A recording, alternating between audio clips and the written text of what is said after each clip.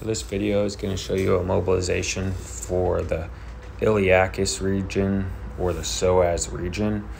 You can't really get deep enough to actually mobilize the psoas, but you can mobilize the muscles around that area. So you want to place the ball just above the hip bone in the front there. So you're going to kind of to be on the iliacus and the obliques. So put the ball there, move it around till you find a tender spot or an achy spot. If you can, hold on that spot, breathe into that area, hold for about 30 to 45 seconds until that tissue starts to relax and release, and then move around until you find another spot. You can shift weight back and forth onto it, move the legs around as necessary.